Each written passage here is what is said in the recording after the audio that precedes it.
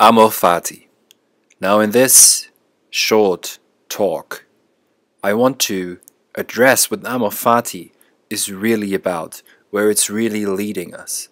It isn't just as we are, you know, accustomed to believe for those who are in the know about Nietzsche, that it's just love of fate, love everything that happens to you as if there was no way out. No, there is another, and that's a beautiful that's a beautiful thought in itself to to accept who we are, that we're fundamentally limited beings and that we're fundamentally mortal beings. So that what it has to do with the amor fati is obviously death, our mortality, is that we will die and that we still say yes to that. But there is another layer, um, a very deep, very profound dimension to the fati which has to do with the eternal recurrence of the same. And the eternal recurrence of the same is absolutely not a thought experiment. It's something very real. It's something that we can experience if we are open to a very radically different temporality, a temporality that doesn't exist in a post-Cartesian, post-Kantian, and post-Newtonian world of calculation where time is nothing but a parameter uh, that we can measure and use to fly to the moon and use airplanes, etc. Now, let me first begin with Nietzsche, what he has to say in The Gay Science in section 276 on amor fati. This is I'm quoting from Nietzsche now. I want to learn more and more to see as beautiful what is necessary in things. Then I shall be one of those who makes things beautiful. Amor fati. Let that be my love henceforth. I do not want to wage war against what is ugly. I do not want to accuse. I do not even want to accuse those who accuse. Looking away shall be my only negation, and all in all, on the whole, some day I wish to be only a yes sayer. And in Ecce Homo, in section 10, Nietzsche says, My formula for greatness in a human being is amor fati. That one wants nothing to be different, not forward, not backward, not in all eternity. Not merely bear what is necessary, still less conceal it. All idealism is mendacity in the face of what is necessary, but love it. And I think the second one, that second section is even more important probably than the first one.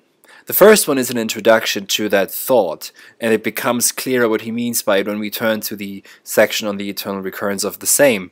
But in the Ecce Homo section, it is clear that what Nietzsche is about here is eternity. And the eternal recurrence of the same deals with eternity, but on a very different level on how we usually think of eternity. We think of eternity as either time passing by forever, that there are infinite now states that just flow and flow and flow forever, from future into the present moment into the past, etc. Or we think of eternity as a circle, that every, everything is just circularly repeating itself. And people usually think of the eternal recurrence of the same as a circle, which it isn't. And then you could also think of eternity just uh, in the way, you know, of the scholastics as a standing now, a nunc stans. But that's not it either.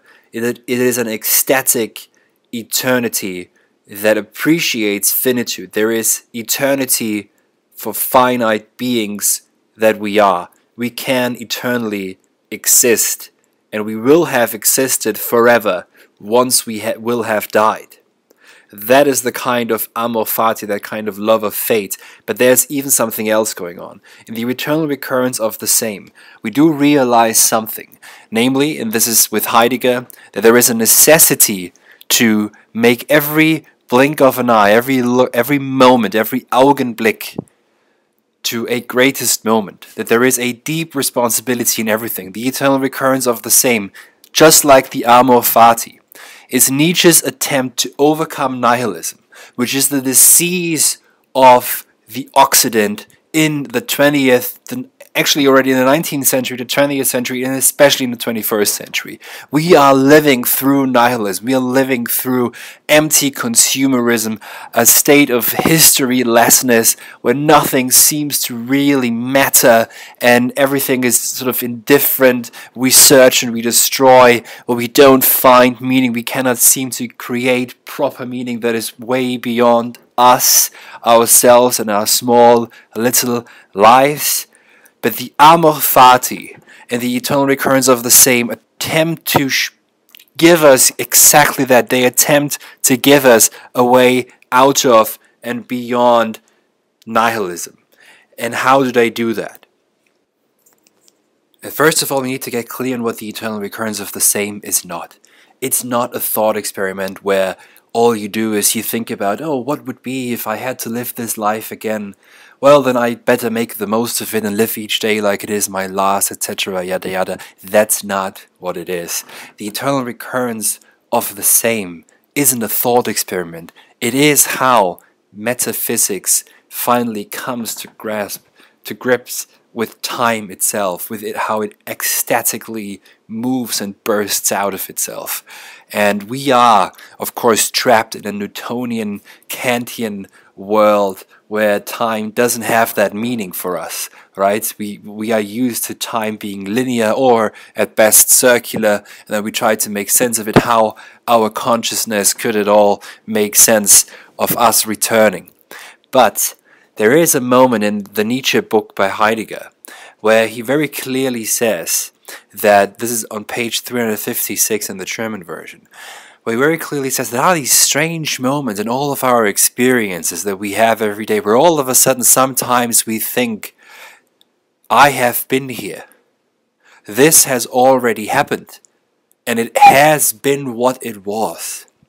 Now, we can, of course, be very rationalistic about it and say, oh, that's a deja vu, and deja vus happen when you lack oxygen in the brain, and we can actually put you in a machine where we, you know, we can sort of simulate a deja vu, and then we can show that areas of the brain, they light, they light up purple, and then it looks a bit different, and therefore, that's just the brain uh, making a mistake. It's a bit too slow. It doesn't process the information. But okay, you can think of yourself as a machine. You're nothing but sort of, you're nothing but processes in your brain. You're nothing but uh, neurons shooting around. Okay, if, if that's who you want to be, of course. I mean, that's just basic nihilism, right? That that's uh, actually a very sad nihilism too, because you've reduced yourself to absolutely nothing, to even less than a machine. And now, what However, when Heidegger says there are these strange moments, what he's pointing to is for these ecstatic possibilities where we see that already always everything already has been.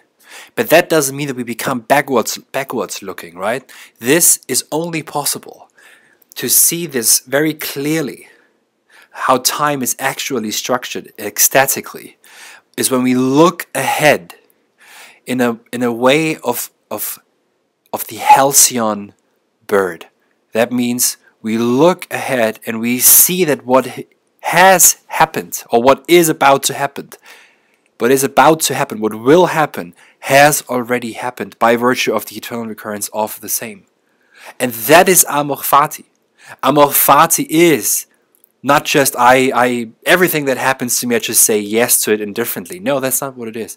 It means to love what's necessary. And what is necessary isn't just what happens to you personally, but what is necessary is that which is to come, which by the very law of the eternal recurrence of the same has already happened.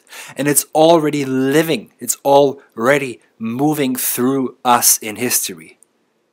And that is that's the fate aspect. And if you love that, if there is a deep love for what is about to happen, only then can there be proper change, proper actual reversal proper actual because you already see it. You already see what has happened. You see it about to happen. And it is possible then to come back. And it has to do with language.